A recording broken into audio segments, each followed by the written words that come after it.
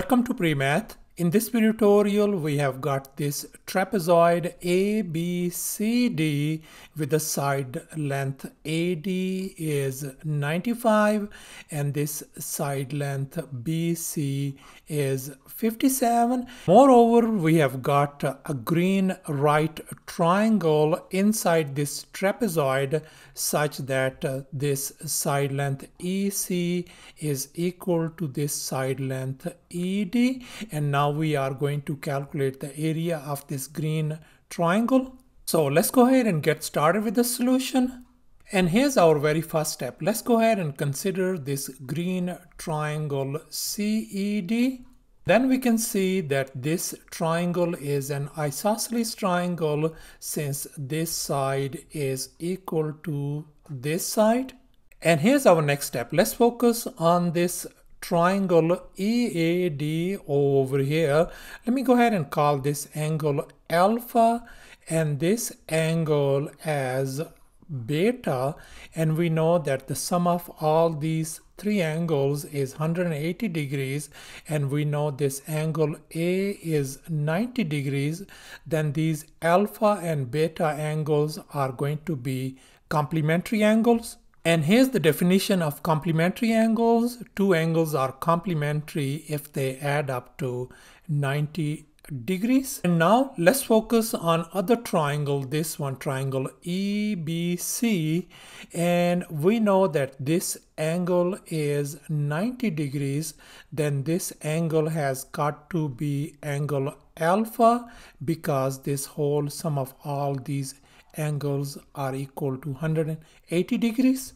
Now once again this angle on this side in this triangle this angle is 90 degrees this angle B then this angle has got to be beta because the sum of all these three angles must be 180 degrees.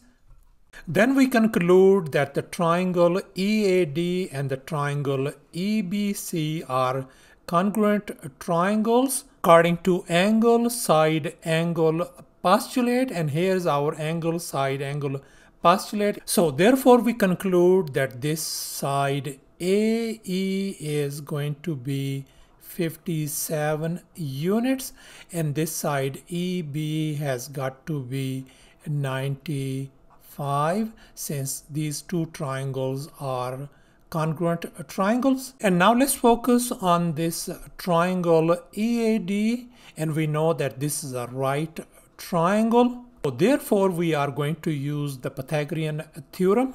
And here's our Pythagorean theorem, a square plus b square equal to c square. Let me go ahead and call this side a, this side B and this longest leg as side C. And here's our Pythagorean formula where A equal to 57, B is 95 and we are going to calculate the value of C. Let's go ahead and fill in the blanks. A in our case is 57 and then it's going to be a square plus B in our case is 95 square equal to c square. And now let me show you an easy way to simplify this problem.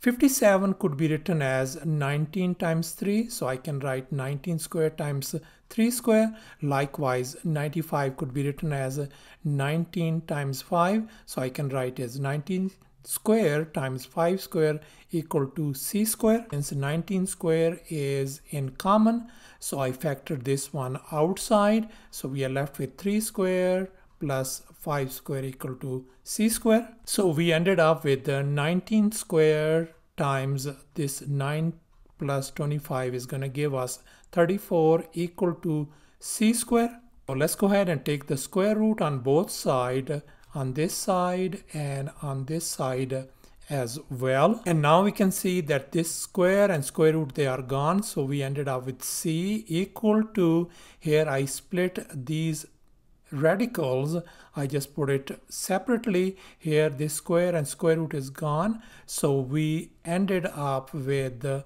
c equal to 19 times square root of 35 so thus our this side length ed turns out to be 19 times the square root of 34. So therefore, this other side EC turns out to be 19 times square root of 34 since these two sides are equal.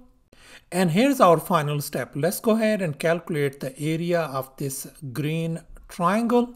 And here's the area of a triangle. Formula area equals to a half time base time height. And since we know that this green triangle is a right triangle, I can call this side base and this side is our height. So then the area is going to be simply a half time base in our case is 19 times square root of 34 times the height is 19 times square root of 34 as well. Here in this next step, I brought these 19 times 19 right in the front and I put these radicals together as well. Here in this next step, uh, square root of 34 times square root of 34 is going to give us just 34. And if we multiply and divide, so our area of this green triangle is going to be 6137 square units. And this is our C value.